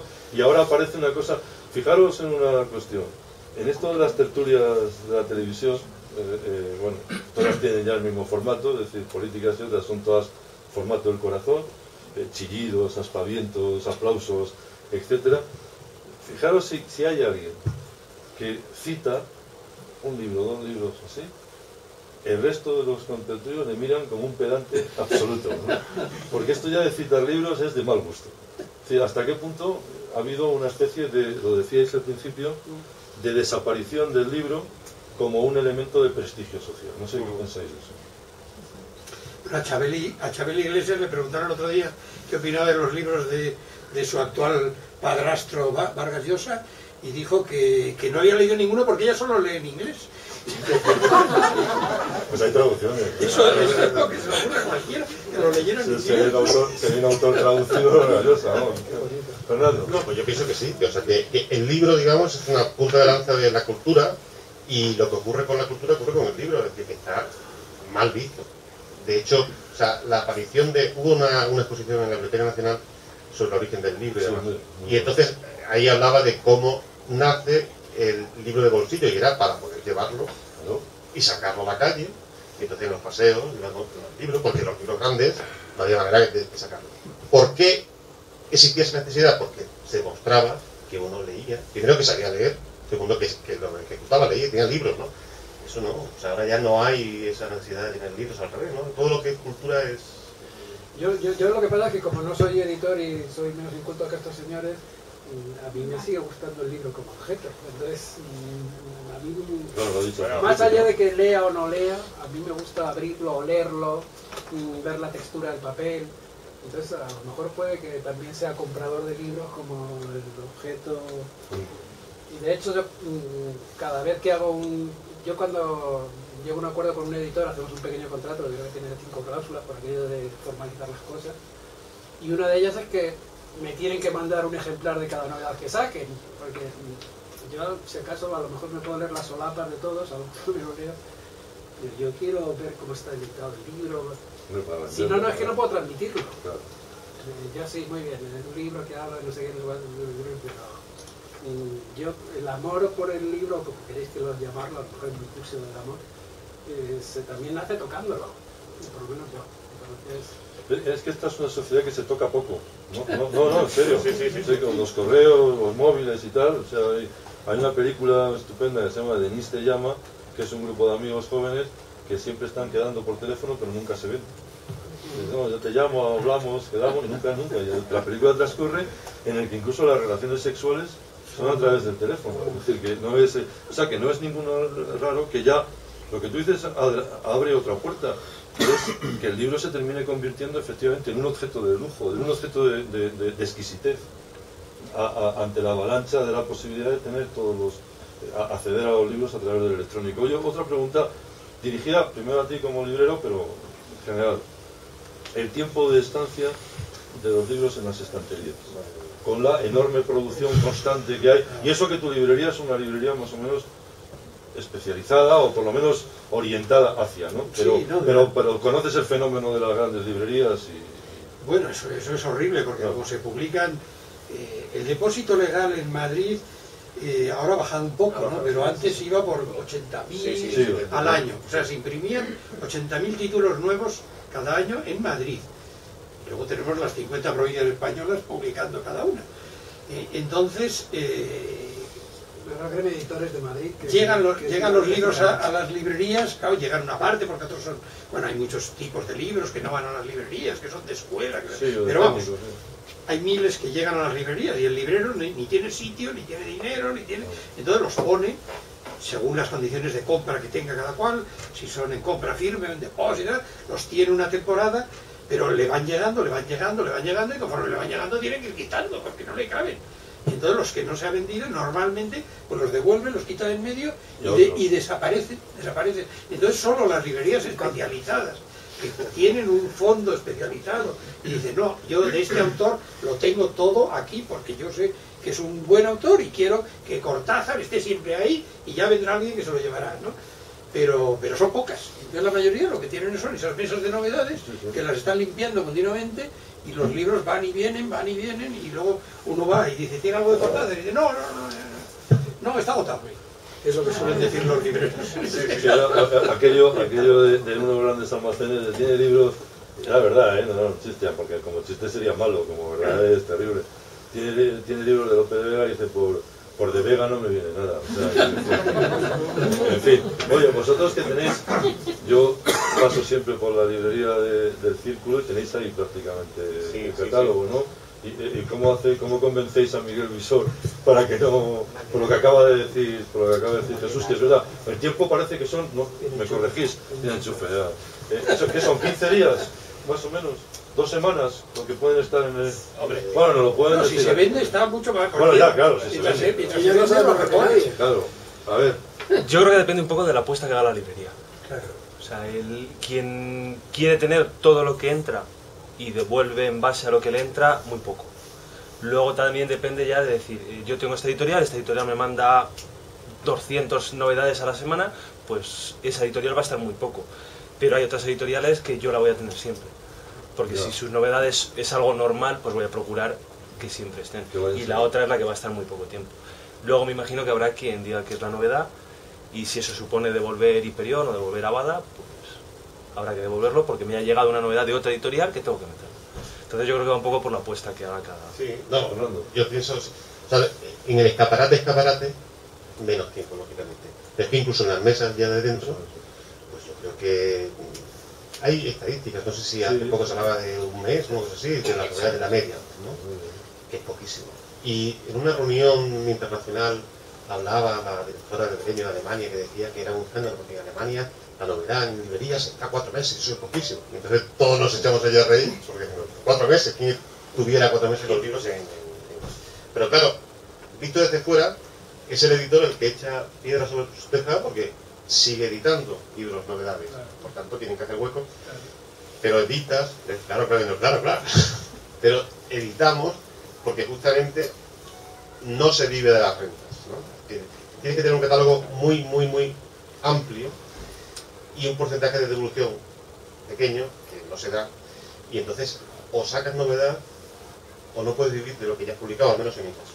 Y entonces yo mismo soy eh, tirano y, tiranizado, ¿no? Es decir, que yo hago libros cuando creo que todavía no se han vendido suficientemente los libros que ya he hecho, pero no puedo dejar de hacer. Y, y es un círculo vicioso que, que a veces te... Si me permitís, os voy a contar Sí. un curioso caso Sí, que conozco, Por favor. que es el de la antigua Alemania Oriental, la República Democrática Alemana, que conozco bien porque yo fui allí a hacer unos cursos de germanista, estuve dos, dos veces. Entonces el sistema que tenían aquellos, claro, era un sistema socialista en que el Estado lo controlaba Todo. Entonces, ¿qué hacían? Había mm, varias editoriales, eh, las editoriales programaban los libros que querían publicar y eh, hacían unas listas de, de futuras novedades y las mandaban a todos los libreros del país. Entonces los libreros decían cuántos ejemplares querían de cada libro. Entonces ajustaban la tirada a lo que querían los libreros, dando un pequeño margen por encima. Y cuando se editaba el libro, los mandaban. Al que había pedido 10, le mandaban 10, al otro le mandaban 5, y se acababa la edición, y ala. A la carta. ¿no? Eso pasa en las compras que hace la Secretaría de Educación Pública de México. Así. Lo que hacen es mandar un ejemplar de muestra a cada estado. Primero hacen la selección de lo que quieren comprar ese año. Les mandan un ejemplar de muestra a cada estado y cada estado dice yo quiero 2.000, yo quiero 5.000, yo quiero... y entonces te llaman al editor español y dicen quiero 55.000 o 50.000. Claro, y no hay devolución ni nada, iba directo a... Directo. Entonces se edita en función de lo que pide cada uno de los estados. Eh, eh, eh, visto lo visto, de los gobiernos hay que esperar poco. ¿eh? No, no, digo, pregunto yo inocentemente. No, no digo, o sea, porque no tienen un duro, eh, el duro que tienen lo sacan de buena manera. No, estos últimos, por ejemplo, este- en este periodo de, de Rajoy, pues las ayudas, había unas pequeñas ayudas a la edición del Ministerio de Cultura que las han recortado, recortado, recortado, que prácticamente han desaparecido, ¿no? Como mucho te dan una ayuda por editor, más o menos, a un- para un solo libro, ¿no? Por eso digo que no. Hace- Las bibliotecas no tienen un duro para comprar No, no, libros para nuevos nada, también. Hace 10 años se podían eh, presentar a esas ayudas por cada editorial, creo que eran 12 títulos. Ahora solamente se pueden presentar 5. O sea, ya con eso te da a entender, ¿no? Es decir, que ha Luego bajado. aprueban uno, ¿no? Y luego a prueba, por supuesto, y luego a prueba lo que te den. Yo como no soy editor, una vez más, me tenía que, que disculpar, pero eso también eh, en algunos casos ha hecho Yo algo bueno. yo. Te digo, en Valencia, cada libro que editaba un editor valenciano, Ah, bueno, sí. Sí. porque era valenciano, la Generalitat Valenciana compraba no sé cuántos ejemplares de todos los libros que editaban. 500. No, Yo no, conozco muchos editores Que solo editaban para recibir la subvención. Era, y de hecho se han terminado las subvenciones por la crisis y hay muchísimos editores valencianos que no tienen piso. Podría citar. Que vivían de eso, sí. Y sí, hay sí, alguno sí. grande que todavía está ahí, pero temblando porque le han quitado todos los premios de, Sabemos quién es. de los pueblos, todos los premios de la dignidad, todos los, todos los premios que tenían. Entonces, claro, ¿eso es bueno o eso es malo? Pues quieres que te diga. Yo he- Mira, hay un libro, por ejemplo, perdón, Bueno, un, libro infantil que no, no, no me acuerdo el nombre exactamente, pero yo me acuerdo que era una, algo de algo de la luna. Y de pronto en medio había unas láminas que eran moros y cristianos. O sea, no tenían nada que ver. Y es porque el ayuntamiento de no sé qué pueblo había subvencionado que había que meter esas láminas. Alucinaba. Te lo, te lo puedo enseñar el libro, ¿eh? si nos metemos en ese. Bestial. Si nos metemos en ese disparate tenemos para toda la noche. Me contaban editores de libros de texto que habían tenido que cambiar unos libros de texto de lo que llaman conocimiento del medio, lo que nosotros hemos conocido como geografía, llama ahora se llaman cono, que tiene conones. Eh, bueno, porque tenían que retirar de- de- para los libros que se iban a distribuir en Canarias eh, los ríos, porque en Canarias no hay ríos. Y otro, y otro editor me contó, importante, ¿eh? cómo habían tenido un problema con la Junta de Andalucía porque tenían que hablar de las, de las matemáticas, de los matemáticos andaluces, empezando por los árabes y, y todo lo demás y, y centrarlo a eso. Pero eso es un mundo que ya el disparate, yo creo que a veces el disparate se termina corrigiendo, la insensatez es de tal calibre que llega un momento. Oye, vamos a ir terminando. Primero una pregunta de casi de anticipación. Bueno, lo de la piratería, ¿decimos algo? ¿O porque es tan vergonzoso que yo no sé por dónde empezar? O sea, decir, pero lo más vergonzoso es que eh, eh, hay, una, hay una especie de, de, de- de tensión social en la que se aprueba. Es decir, que, pues, os, os cuento un ejemplo. ¿Por qué? ¿Por qué? Claro, no, no, pero ¿por qué? En, los derechos de autor. ¿no? ¿por qué eh, a la familia de Leopoldo Alascari? Yo he tenido grandes discusiones con esto con Milagros del Corral, ¿no? que fue directora de la Biblioteca Nacional y una de las grandes expertas en, el mundo del libro. ¿no? Pero ¿por qué, por ejemplo, a, los descendientes de Benito Pérez Galdós o de Leopoldo Alascarín se les marca un tiempo de derechos de autor y a los autores y a los dueños de un castillo que también es patrimonio, no, no, lo digo en serio, o del Palacio de Liria, me, da lo mismo, eh, no se les marca también un tiempo, puesto que es un patrimonio histórico también que puede disfrutar todo el mundo. ¿no? Decir, hay una distinción, no solamente eso, eso que ya está en la ley, que bueno, es muy complejo, yo lo he dicho de una manera, si me permitís, absolutamente demagógica y la acepto. Pero eh, en el caso de la piratería, ¿qué ocurre para que la- hay dejación por parte de las autoridades, por parte de las de las sociedades que controlan los derechos de autor? ¿Qué, qué- cómo lo veis? eh? Nada más, no se trata de, hacer aquí una tesis, sino una bre- brevísima opinión, ¿no? Bueno, yo creo que sí hay una cierta rapiña por parte de las sociedades, por una parte. ¿sí? Porque, pues, este, y luego sí es verdad que es políticamente incorrecto o duro el meterse de lleno con la piratería. Eh, entonces, Sabéis que en España, España estaba hasta hace poco en la lista del FBI sí, sí, de los países con mayor piratería del mundo, o sea que es un... Bueno, pero es más sobre todo musical y de películas, más que... Sí, pero en el libro, también en el libro, sí, en el libro No, pero en. América tú sabes muy bien que cuando sale un libro, un libro que se supone que se va a vender bien, muchas veces está a la venta una edición pirata en papel antes de que la editorial la ponga a la venta. Te digo, Oveja Negra, Oveja Negra, el libro de García Márquez, uno de los que editó, estaba antes en los puestos de piratería que lo sacara la editorial. Porque eso aquí no se hace, pero fíjate aquí no hay piratería No, de, de libro en papel. Pero en América sí, en Colombia es normalísimo. Y en Bolivia, en Bolivia había una feria del libro fotocopiado. Y, y lo- y los stands estaban puestos con la editorial. No, no. Imagínate, Hyperion y todos tus libros fotocopiados, macho. No, en Perú, en el centro de Lima, hay un, un gran galpón, una que es como un mercado así, todo lleno de puestos y todo Todo fotocopiado. Todo, todo, todo. A, eh, a- a nosotros nos pasó en, en Buenos Aires que como el, el periódico no se distribuía allá en América, pero tenía cierto interés el suplemento, me, me contaron que había tres kioscos en Buenos Aires, que además me dijeron dónde, que vendían el suplemento fotocopiado. Pero oye, no fotocopiado, perfecto.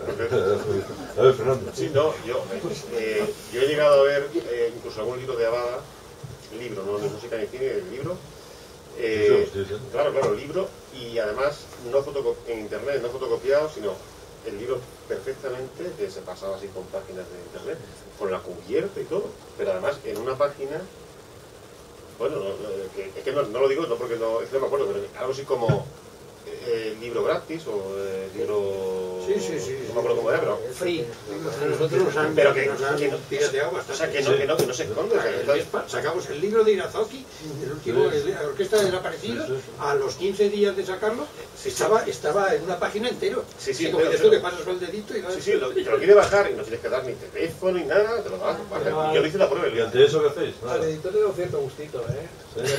Está pirateado. ¿eh? No, eh, Eh, no no sé. Pequeño es hermoso. Eh, este libro es famoso. Hombre, eso es como los, canta- los, los músicos que dicen que hasta que no venden el libro, el disco pirata en la calle, no, no has triunfado. No, bueno, a mí, no, no, pero a mí Sabino Méndez, que era el guitarrista de Loquillo, y que es un est- estupendo editor- escritor, eh, me contó que gracias a Internet ellos habían perdido dinero en la venta de discos o de CDs, pero que habían ganado bastante dinero dando conciertos, porque les invitaban de sitios del mundo que, no, que nunca les habrían conocido, porque no se distribuían sus, sus CDs en todo el mundo, pero gracias a Internet, entonces decían, estamos compensando lo que nos roban, vamos, lo que nos piratean, por lo que podemos dar. Oye, una última pregunta y damos paso a, vosotros si queréis hacer.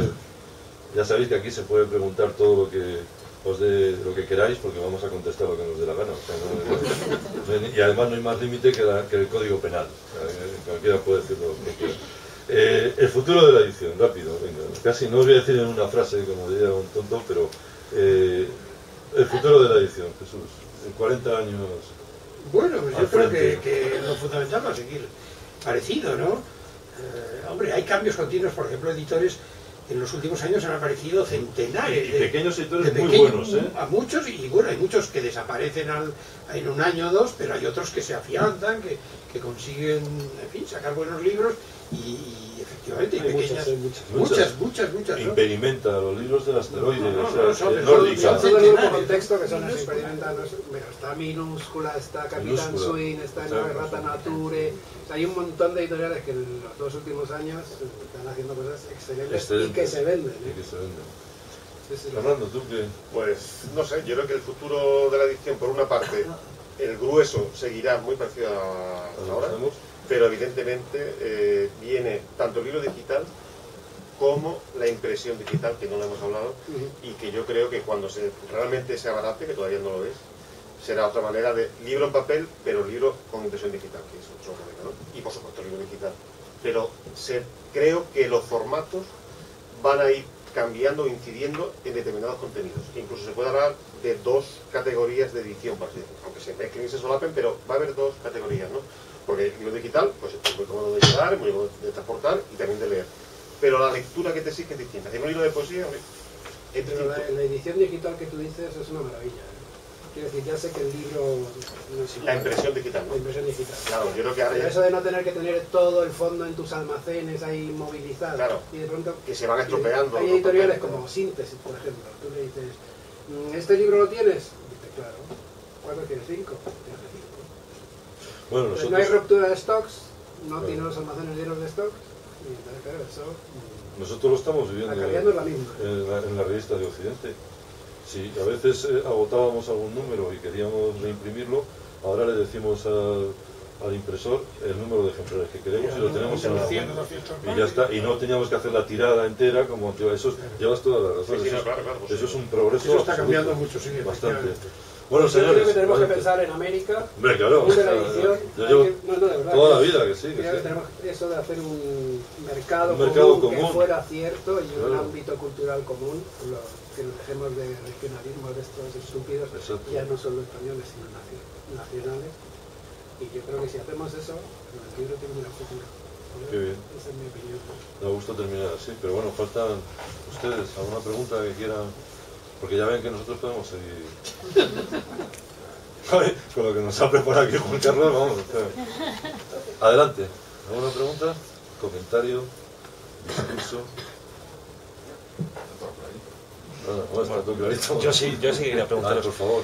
especialmente en la edición. Eh, hablabais antes de a lo mejor un buen libro, que a veces apuestas por él, a ver si se me ocurre, por ejemplo, ¿estaríais dispuestos, por ejemplo, ahora mismo con la situación que hay, es verdad que la gente no busca a lo mejor la lectura de un gran libro, a editar a un autor al estilo de Joyce?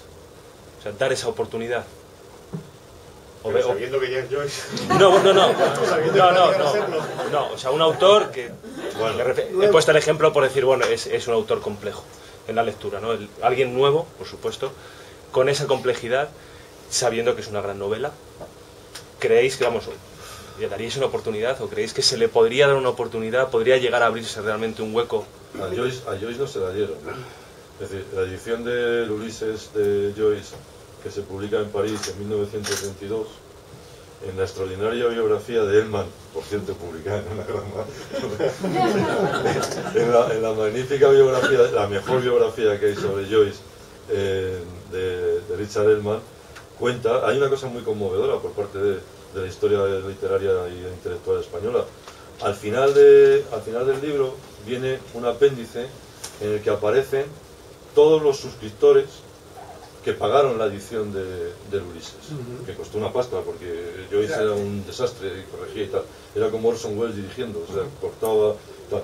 Bueno, pues eh, ahí está todo el gota de la vanguardia europea y, y norteamericana de- de la- del momento. Están todos los nombres. Y curiosamente hay dos españoles nada más, y nada menos, que son Ramón Gómez de la Serna y José Ortega. Fíjate. Los dos pagan, no te quiero decir, pero bueno, pero tu pregunta es buena. Sí, es un poco- No, no, fuera de eso. A ver, Mira, yo te digo un experimento que hicimos en una empresa en la que yo trabajé que se llamaba Celeste y que a mí me parecía sensacional.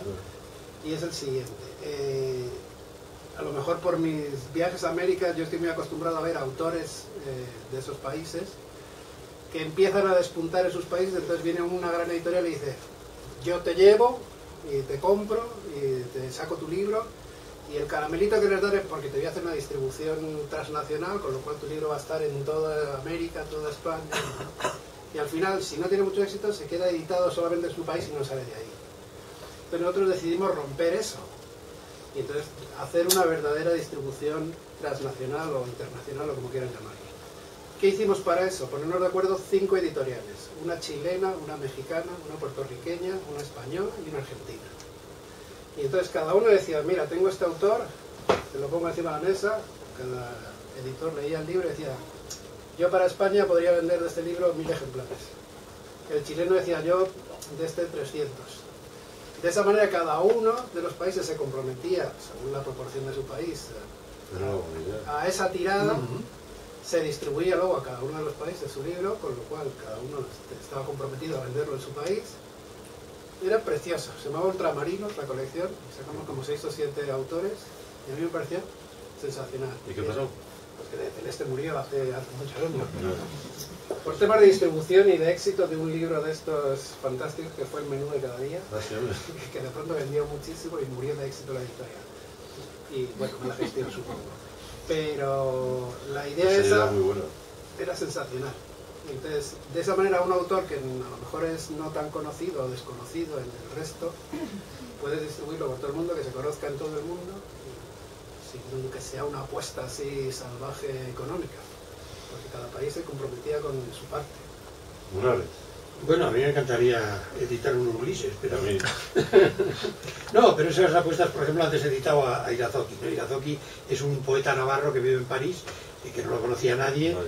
y nosotros llevamos cuatro libros, es decir, seguidos, y es una apuesta. Y el cuarto libro está teniendo una acogida magnífica, ¿no?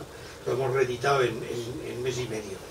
Bueno, pues ha sido una apuesta porque Sí, sí. ni el primero, ni el segundo, ni el tercero han vendido mil ejemplares. Pero ya el cuarto ya hemos conseguido Que entre. que entre, que la gente se entere de que... eh, y bueno, pues era un desconocido hace, hace unos pocos años. Una satisfacción para Claro. Eso sí que es una apuesta. Fernando. Sí, pues hombre, en mi caso sería más el ensayo que la novela, ¿no? Sí, claro. porque novela no hacemos excepto una, una cosa muy muy Pero este no es novela, es una cosa. pues sí, Pero sí, hay apuestas. eh, nosotros, desde luego, eh, al menos en este tiempo, no tenemos la visión de dar a conocer nuevos valores. No es nuestro enfoque principal. Pero, porque no, no podríamos pensar. Pero sí recuperar gente que está olvidada. Pero sí recuperar gente que está olvidada y sí apostar por alguna gente que no está conocida o que está empezando, que es más joven, pues, pues, profesores jóvenes y tal, que hemos publicado. A sabiendas de que la venta va a ser limitada, ¿no?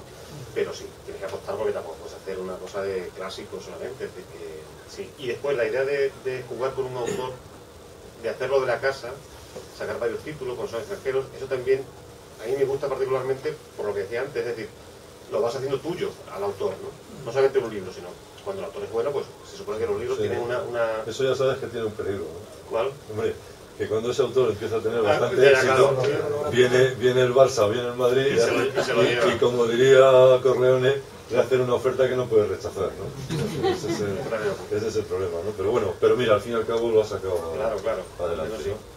Bueno, insisten en no hacer preguntas. ¿no? Bueno, yo quería preguntar, como estamos en campaña electoral, Vaya. si les gustaría, o sea, ¿qué, qué- le pedirían a los candidatos o si creen que se podría hacer algún eh, cambio legal eh, que, bueno, pues que ayudara al sector? Muy bueno. A ver, empieza tú. Ah, bueno. que ningún, yo lo que, lo que quiero decir ahí es que ningún, de todos los debates que he visto yo nadie ha mencionado la cultura en ningún momento. Es espectacular. Eso es tremendo, ¿eh? Tremendo. Es decir, eh, resulta que la marca España, la verdadera marca España, y yo creo que esto, los, que están metidos en esto y los que están fuera lo saben, es la cultura. O sea, donde tenemos una presencia en el mundo es a través de la cultura, no de la industria, salvo el turismo. Y Jesús, chapó. Es decir, na- llevan unos debates, a veces va un candidato, a veces envían un número dos, a veces tal, a veces les cambian de hora, tal, pero nadie y mira que somos morbosos y nos tragamos. Eh, nadie habla todavía de cultura. Ni de, vamos, ni de cine, ni de música, ni de libros, ni de, ni de, uh, Después no, de- de enseñanza, sí, lo único. sí, de- de educación a veces, ¿no? queriendo cambiar Sí, los porque- planes de educación. ¿no? Sí, porque la educación es una batalla ideológica, más, que, más que ciudadana, ¿no? Pero, Pero es efectivamente... Ahora, después todos son unos papanatas hablando de cultura. ¿no? Todos, no, la cultura es muy importante. No va, no va a haber ninguno que diga, no, a mí la cultura no me interesa. ¿no? O sea, pues sería divertidísimo que lo dijera uno. Claro, no. Eso No. vende. Eh, no, pero todos van a decir, no, no, la cultura es importantísima, si nosotros eh, alcanzamos la mayoría, eh, vamos a dar una atención especial a la cultura y tal. Pero hasta ahora, hoy es 12, ¿no? Sí. Quedan 8 días de campaña, vamos, menos, porque hay eh, jornada de reflexión. Hasta hoy, a fecha de hoy, aquí en Ícaro, en La Granja, ninguno, pero no ellos, ¿eh? Ni siquiera los listos que convocan los debates llevan en el temario Una pregunta. una pregunta, nada más, que sería la que tú acabas de hacer con una claridad evidente. O sea que así estamos y como decían en Hill Street, tengan cuidado del fuerte. Por lo, que- por lo que nos puede venir. Yo creo que sí. Además de lo que tenemos. Que sí se podría, claro que se podría hacer. Es decir, que incluso para no hablar de dinero, porque eso es muy fácil, ¿no? Pero el dinero hay que tenerlo, simplemente cambiando el enfoque psicológico de los nombres. Es decir, eh, todo lo relacionado con la cultura son subvenciones que parece que está implícita la idea de que subvenciones a los que no hacen nada o a los que se morían de hambre si no tal. Está más subvencionada la industria del automóvil Es lo que iba a decir, que la pero cultura. nadie habla de eso, habla del plan PIB, el Super PIB 6, el plan PIB 6. Cuando son de las carreteras, eh, no, solamente poder cultura es una subvención. ¿no? Eso es lo que hay que cambiar, es decir, el enfoque ese. ¿no? Y después también eh, ocurre que se puede gastar de manera más racional, eso por supuesto. Es decir, que lo decías antes, ¿no? con los, los gastos de dar todo lo periférico, no sé qué, tiene aquí unas cosas que, que sería muy largo de hablar de eso. Pero sí, se puede gastar el dinero de otra manera. Lo que les pedimos, podemos pedir a todos, a los que salgan, es que sí restablezcan el Ministerio de Cultura. Exactamente. Y que lo separen del deporte de una vez. Eso de entrada. No sé por qué siempre... Y otra cosa, no se está pidiendo, o sea, no es que el editor, yo en particular, Jesús, etcétera, pidamos dinero, no es eso. Por, no, ejemplo, no. por ejemplo, en Francia, los libros que yo edito de Francia prácticamente, bueno, el 100% prácticamente tiene subvención en Francia a la traducción, para el traductor. ¿Por qué? Porque es una proyección. Claro, porque Claro. Francia quiere que sus libros estén fuera. Y entonces paga al libro, eh, paga España, al traductor español y no lo, no lo lleva el editor, se lo lleva el traductor, ¿no? Como eso, hay muchísimas políticas. Yo he tenido reuniones con editores y decía, mira, los traductores, yo también he sido traductor, bueno, lo sigo siendo, en fin, están muy mal pagados, claro que sí. Y los correctores están muy mal pagados, claro que sí. Entonces, ¿qué pido yo como editor? No que me den a mi dinero para pagar mejor al... No, no, no. Que el traductor solicite un añadido a esa traducción o el corrector, etcétera. Es decir, que el país se preocupe de que los correctores, los traductores, etcétera, sean de calidad. Pero claro, ¿cómo va a ser eso posible si en la primera papeleta que me ha llegado, ya que preguntas por política, el papel del Senado, y como es el mismo para todo el mundo, lo podéis mirar, hay 14 partidos, me parece. Bueno, creo que entre los nombres de los senadores posibles hay como 8 o 10 errores de bulto. O sea, Inés sin acento, González con acento en la E. O sea, en el papel del Senado, ver. Es una cosa vergonzosa. Claro, un país que se permite hacer eso, o sea, publicarle a senadores que además cuando se escriben, luci- o sea, pero es que lo podéis ver todo. Yo me quedé alucinado y dije, ¿cómo puede ser esto? Menos mal que no era el, era el papel, que no era, no, no es de un partido, sino de está todo dicho ahí. Eso es España. O sea, cuando decimos lo de la cultura, no es que se pague dinero a los editores, sino que tengan alguien que diga, no, me no, Lucía es con acento. Todavía, todavía, pues ya, ya lo quitarán, ¿no? Pero en fin, no sé, creo que se puede... ¿Dices algo? No. Yo, yo te diría desde el punto de vista práctico que haya Claro, claro. ayudas a las exportaciones.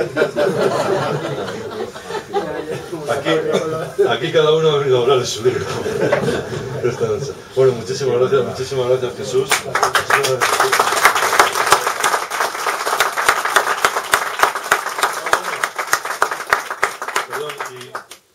Esperamos el año, el año que viene aquí en Ícaro otra vez, en lo que será la cuarta ya convocatoria de, de este estudio de encuentro de escritores, el libro y su mundo, si es que sigue el libro y si es que sigue el mundo, eso habrá que verlo.